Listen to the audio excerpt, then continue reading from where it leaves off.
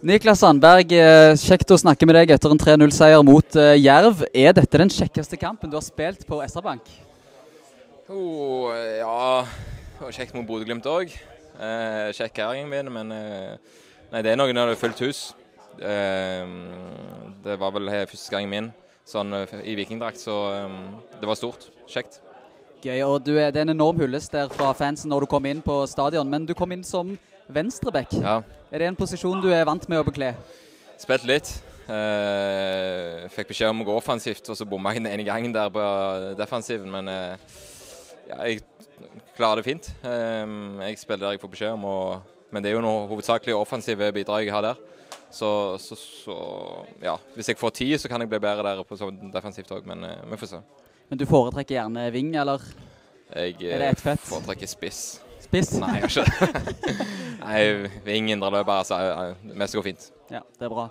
Det høres, uh, høres, veldig bra ut. Men du har jo en assist i dag. Ja. Kan du dra oss gjennom den? Hvordan var det, da? Jeg husker bare feiringen. ja, du kan fortelle litt om jeg den tror jeg spiller vegg med Veton, er det? og så, så smeller jeg den inn. Så jeg kom i en del gode posisjoner altså på innlegg, så jeg kan treffe enda bedre. Men ja, det var tungt med innbytterpulsen der.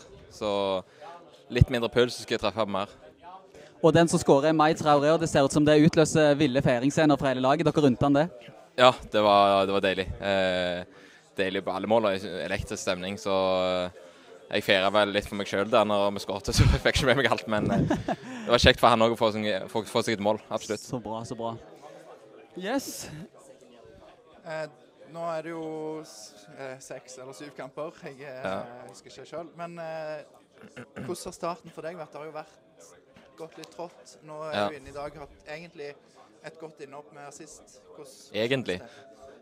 Ja. nei, nei, nei. Ja, okay. uh, nei, jeg hadde en god vinter. Og så, så trodde jeg skulle starte egentlig i første kampene, så, så fikk jeg en, en liten dupp. Og så uh, har jeg vært en del syk, så jeg har ikke vært 100 Så håper jeg Og så har jeg ikke spilt så bra når jeg har starta OK innhopp, så håper jeg at jeg kan få en god start òg.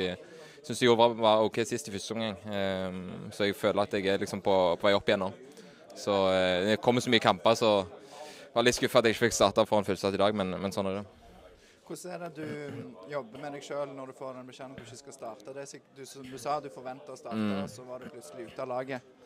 Nei, Jeg gikk hjem og gama i hele går. Var dritsure. så tunge bein i morges, for jeg hadde sittet hele dagen. Men eh, jeg fikk meg en joggetur, og så var det på'n igjen. Ja. Og hva er det du da gamer når du Jeg var Fifa. Ja, FIFA. Så familien eh, var skuffa i morges for jeg ikke fikk se meg i går, men de tror de skjønte hvorfor. Ja. Men gikk det bra da på Fifa? Ja, decent. decent ja. Er du futt eller karrieremodus? Ja, futt. futt. Karrieremodus er så kjedelig. Da, da tenker jeg bare på kamper. For det altfor lett. Yes, takk skal du ha. Bare hyggelig. Nyt kvelden og i morgendagen. Ja, takk skal du ha.